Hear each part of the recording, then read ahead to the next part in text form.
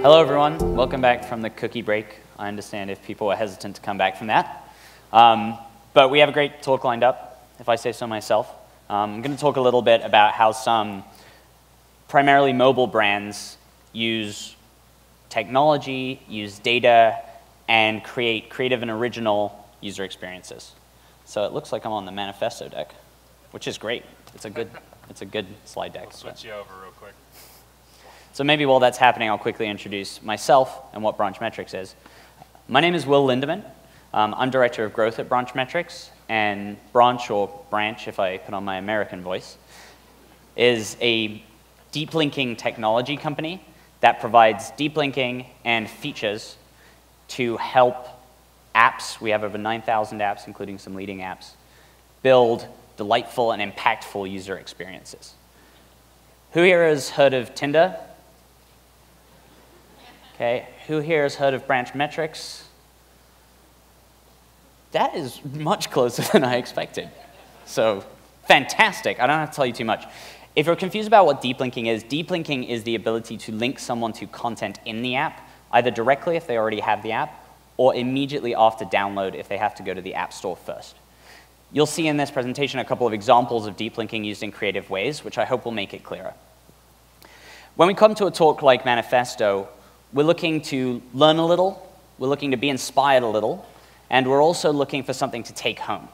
And that's what I hope you can take away from this presentation today. Um, a couple of ideas that will inspire you in how you can build user experiences that really create an impact. So it's the afternoon. I want you to relax, take a deep breath, look at this serene, unrealistic picture of an empty phone. It's very calming. Um, if you work in mobile app, product management, development, marketing, then this would be your dream. Just a bunch of users with phones waiting to download your app. Unfortunately, it's not the reality. Most of us have something a little bit more like this. Some of us more organized than others. Some people can't stand that little two notification I have on the Espresso app over there. Um, not that this is my phone, but if it were my phone, then I would probably have some enemies in the audience. So given that the state of the ecosystem is more like this, it's very, very challenging to get a spot on somebody's homepage. The challenges being other apps, being storage. And then even if you get it, how do you become the app that people want to click on? I have a special folder called iJunk. No offense, no offense to anyone at Apple, but this is all this, the bloatware that they kind of put on the phone that you don't want, that you have to put in a special folder because they don't let you delete it. Thank you. Thank you, fans in the audience. Um, so I have a special folder just for that stuff. So you're competing against this ecosystem. So it's more important than ever that you can kind of come up with a creative way to engage your users.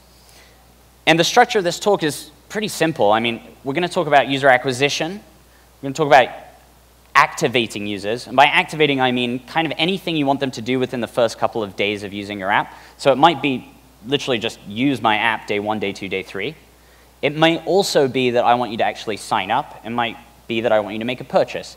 It's that kind of first interaction that we've heard mentioned. Then we have user retention, which, if you're listening to some of the first talks this morning, user retention is really where growth is now. Um, as director of growth, I'm allowed to say that that position means nothing if you're not actually keeping the users that you already have. So we'll talk a little bit about that. And what I want you to do as I speak is think about how this applies to you. These are all huge goals so big that some of the earlier speakers today talked about having totally different teams just to do it. So don't be intimidated by the scope of this. Think critically about your app and your company and which of these make the most sense for you. The first thing I want you to think about is actually whether you're a mobile also or a mobile only company. We've just been talking about mobile apps today, like as if all mobile apps are the same.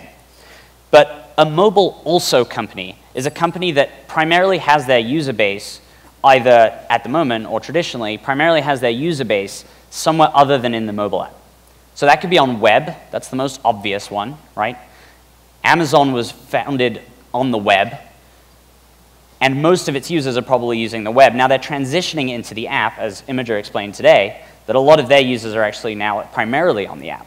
But they're still a mobile also company because they had a relationship with the brand. And you can also think of mobile also as being a company like Macy's where they have foot traffic probably more than anything else in their website. So if you're a mobile also company, you're going to treat your users and your product strategy a little different than if you're a mobile-only company. And mobile-only companies generally tend to be newer. They have the, the majority of their user base is on mobile. And sometimes it's because they're small apps, new apps. Sometimes it can be massive apps like Zynga. But the difference here is that they don't have somewhere else that they're trying to attract users. There's this return arrow here, which signifies that the users that they've retained are supposed to be driving more users to the app, hopefully. There are ads, but ads are a very challenging ecosystem in mobile, and something that there are whole conferences about ads. If you want to go hear about ads, there are many other conferences. Since this is Manifesto, I'm avoiding ads. Hope that's okay with everyone. So, first takeaway, nice and quick. Mobile also versus mobile only. Think about which one of these you are and have that inform your product strategy. And with each of these takeaways, I'm going to have a little data point that I want you to be thinking about either measuring point in time right now or measuring later on as you develop products. Here, a breakdown of web and app traffic, very simple to measure, but very important. This is the analytics talk after all, so I have to talk about data knowing where your users are and where you want them to be. If you're trying to convert users, then think about how they're moving from one place, here I say web, to another, to the app. So let's talk about user acquisition a little bit. And there are many, many ways to acquire users. The one I want to focus on because I think it's the most creative and original at the moment is actually using mobile web specifically as your app's homepage. Using mobile web as a way to bond with the user before you have them download your app. This makes the most sense for a company like Jet. Who here has heard of Jet? Yep, good, good amount of people in the audience. So Jet is a shopping uh, company that's taking on Amazon. There's been a lot of press about that kind of battle. Um, Jet has a huge mobile web user base. And they use a smart banner. It's kind of at the bottom down here. It says get the jet.com app. And this smart banner is a little different to a regular smart banner, like the Apple default one that you may have seen. You can customize the text, but a smart banner is a really nice way of engaging users and getting them to get familiar with the app. So you're using the web to draw them into the content, a nice mobile web experience.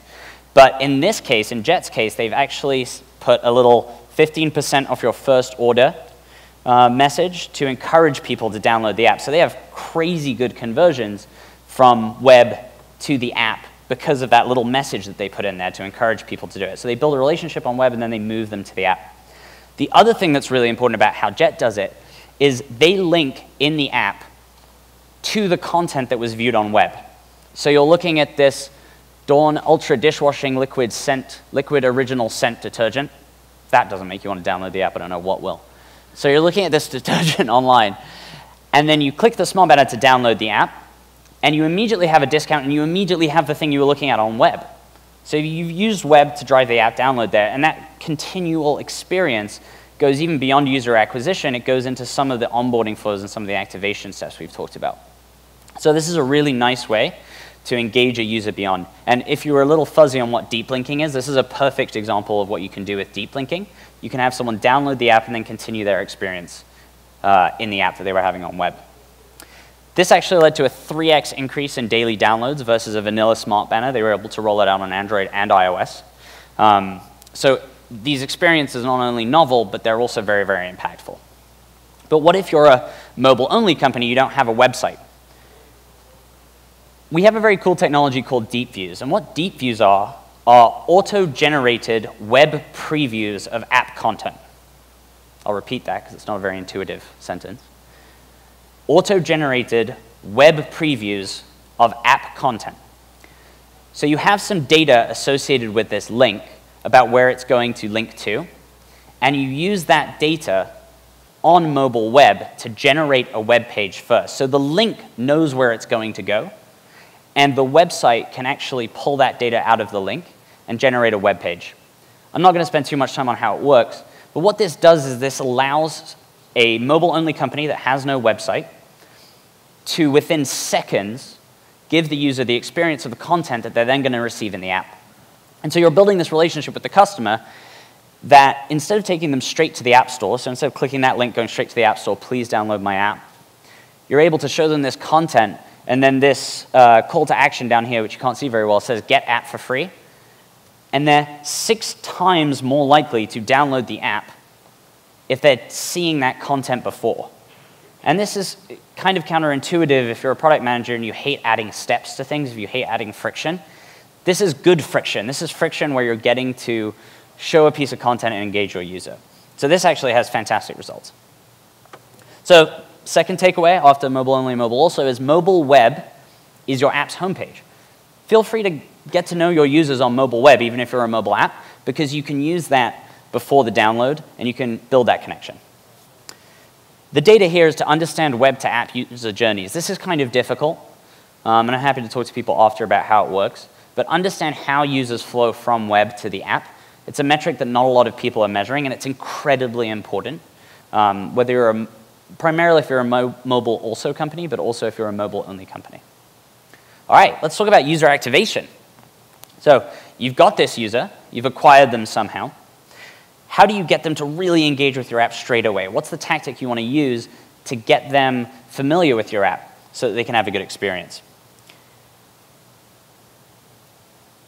Postmates is a delivery app that does local delivery of almost anything you can imagine in your area. And they do a personalized welcome screen for every user.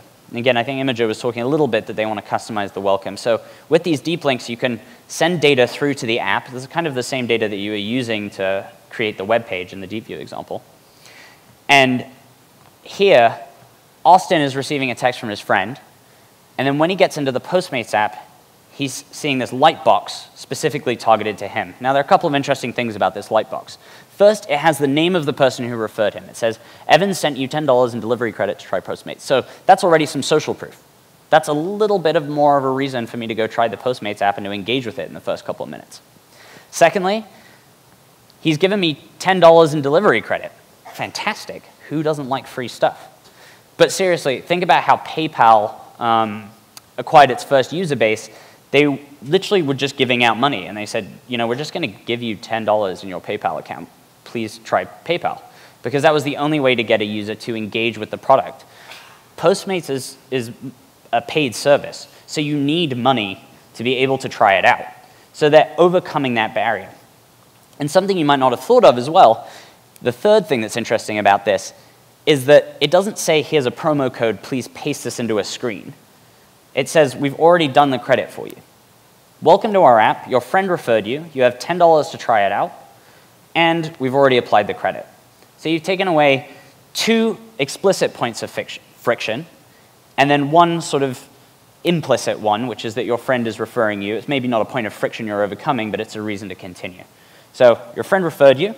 Here's $10 to try the app, which you don't have to worry about pasting in a promo code. And here's $10 to try the app so that you, well, actually can try the app. Um, so this is incredibly rewarding for the user. Personalized welcomes in general, this isn't specific to Postmates, but they can double install to sign up. We've seen even higher than this. So this is 80%, which is nearly double. But you can actually receive even better metrics, uh, better results with this kind of welcome, because you're telling the user, welcoming them into the app. So you're also giving the user something before you're asking for it. You're saying, here's, here's a, welcome to my app. Here's a credit to try out. Now try out the app. This one is a little bit more out there, but I love it. And any kind of UX designers in the house are going to love this one too. So this is an independent game developer called Ryan McLeod. And he has an amazing app called Blackbox. And how Blackbox works is it's a game that doesn't use the touchscreen. So you download the game. It's entirely based around sensors. For example, you can complete a challenge by inverting the phone or shouting into the speaker or covering up the light sensor, or any number of these kind of interactive elements. And my mic's falling off. There we go. So it's really counterintuitive to how people are used to using a phone. But their onboarding, but his onboarding is fantastic. And he has this very short introduction where he tells you not a lot. It's a complex system, which is mysterious, and it's going to be frustrating. How many people are like, welcome to my game, it's going to be frustrating. Um, he actually makes that kind of part of his marketing spiel. But this second screen is what's really interesting. It says down here, I don't know if you can read it, a light represents a challenge. Then there's a light in the middle. So you're like, okay, that represents a challenge, makes sense. And he's not saying swipe through and say, oh, a light represents a challenge and you're going to have to use sensors and this is how the game is going to work and I really hope you enjoy my game. He's just put some inverted text at the top of the screen. So what do you do with inverted text? Well, you're going to turn your phone around. And when you turn the phone around, the challenge completes. So you've been given this experience. You're not being given explicitly money. You're not being given credit, but you are being given an experience that's engaging rather than the kind of three slide swipe. Um, so think about ways that you can kind of make your users interact with your app in a way that's complementary to the app. So overall, give before you take. When somebody comes to your app, try and give them something, try and engage them so that they want to come back to your app the first couple of times. Um, you can do UX testing or A-B testing, depending on whether you're more of like a qualitative or a quantitative person. Um, and you can do some user studies and see which of those onboarding flows really resonates with people and which keep people coming back, while also achieving you know, the business goal that you have at hand. Retention, the funnest of the three challenges. Lots and lots of things out there for the first two, Well, definitely for user acquisition, some things out there for user activation, but retention is a really sticky one. It's really you alone. So I thought it would be helpful to look at this very technical retention diagram that I have. Um, this, I, I, don't know why you're laughing. It's a very technical retention diagram. Uh, this is Tahoe. He has a puppy, um, and that is a triangle on his head. Thank you. So why is a puppy up there? Well, I'll get to the puppy in a second. But first, let's talk about defining retention, because the only way I could get you to listen to a talk about defining retention is to show you a picture of a puppy and promise I'm about to explain why he's there. So when you're thinking about defining retention, there are a couple of terms that it's helpful to know. Rolling retention is a fairly common measure of retention. It's used by Flurry if any of you use mobile analytics. And the idea of rolling retention, seven day rolling retention specifically, is if a user comes on day one to my app and then returns on day seven, eight, nine, 10, whenever after day seven, we're going to count them as retained. We're going to say for seven day retention, they were retained. They appeared after the day that I chose. Okay? So the nice thing about that is you don't have to worry about which day they came back after seven. You just know they came back. The bad thing about it is it doesn't really tell you anything about frequency. You don't know how kind of frequently they came back, which is where classic retention comes in. Classic retention, seven day classic retention, says if a user was in my app on day one, were they also in my app on day seven? Okay? Not day six, not day eight, were they there on day seven? And the disadvantage of classic retention is that if they didn't happen to come back on day seven, you're going to say they weren't seven day retained. Even if they came back on days two, three, four, five, six, 8, 9, 10, 11, 12, etc., you're going to say they're not retained. So when you're looking at rolling retention, you're generally looking at churn, you're looking at long-term retention. It's a way of measuring churn. And when you're looking at classic retention, you're going to look at all the days alongside each other and you're going to see frequency. So classic retention is going to tell you how often are my users coming back to my app. So think about for you, what is your goal? Is your main goal churn or is it addictive behavior? Obviously, these things are complementary, which is why they're both retention, but they are different. Why do I have a puppy up there? That's what you want to know. The puppy is your user. The puppy is your user is naive. Your puppy, your user, doesn't know why it should like your app. Your user is easily distracted by all the other apps and exciting things in the world. Your user gets bored quickly by all, and is more interested in other apps and exciting things in the world and will tire of your app.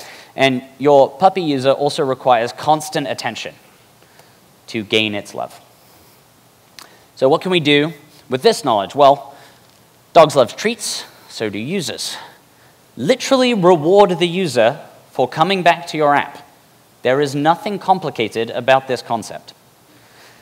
This is uh, an app by uh, Spry Fox, which is a small independent game developers. By the way, just in general, indie game developers have some amazing UX tips. You should definitely check them out.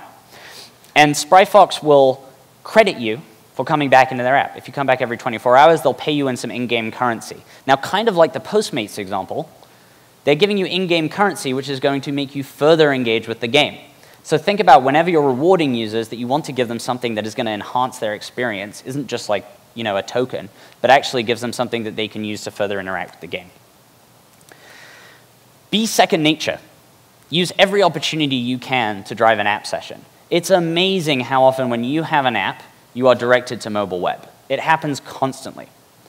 Pinterest, who I don't think I need to introduce, has done a really cool thing with Branch where every link you click on mobile will take you to the Pinterest app. So they're not missing any chance to send you back into their app. They're retaining you just by merit of you clicking the same links you would always click and not going to mobile web. So if your app isn't doing that, think about how you can make it do that. You're just missing chances to kind of sell that user and get them in the app. Finally, appear when needed. When a puppy is hungry, provide them food. Users are similar. The context of where your user is when you want them to use your app is incredibly important and something we don't think about.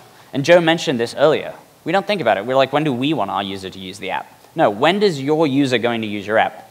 In this example, Yummly, which is a recipe app, partnered with Instacart, which is a grocery app. I think you can probably see where I'm going with this, right? So you're in the Yummly app, you're looking at a recipe, and there's a button down there that says Shop for Ingredients, and when you click it, you are deep linked into the Instacart app with your cart full of the ingredients you're going to need to cook that recipe. It makes perfect sense that these two things are together, and Yummly increased retention by 30% using this, because it made perfect sense that when I'm in a recipe app, I want to then go to a grocery app, right? So combining these two things together makes your user appreciate you being there when they need you. So just generically think about the context of, which, of when you're going to appeal to your user. So the final takeaway here is be present, be there when your user needs you, and be relevant. Be relevant to the context in which your user is looking to use your app. The piece of data that you can look at here, retention by engagement channel. I mentioned classic and rolling retention, decide which one of those you want, and then look at different engagement channels and see how those impact your uh, user retention. Where are you using push at the right time? Um, if somebody turns off push, you're kind of hosed. So some of these are nice examples of how you can kind of get around push if somebody decides to turn you off. But look at the data that's telling you where a user is coming from and when they're going to be best retained. So just to summarize, are you a mobile also or a mobile only company? Uh, do you have your user base split? Look at the breakdown of web and app traffic over time. Mobile web is your app's homepage. Mobile web is an incredibly powerful tool to drive app downloads. Don't dismiss it. Give before you take entice your user to use your app, tell them why it's going to be valuable to them, and welcome them into the app before you expect them to spend time in it. And finally, be present, be relevant, be always there to increase retention. Thank you very much.